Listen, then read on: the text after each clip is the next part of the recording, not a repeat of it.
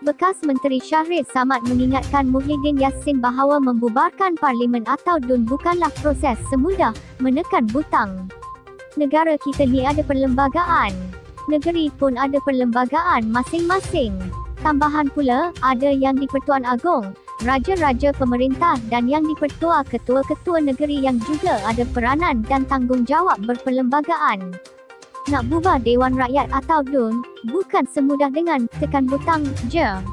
Ada prosesnya. Ia tertakluk kepada proses di bawah perlembagaan yang melibatkan peranan ketua negara atau ketua negeri, katanya dalam satu kenyataan di Facebook hari ini.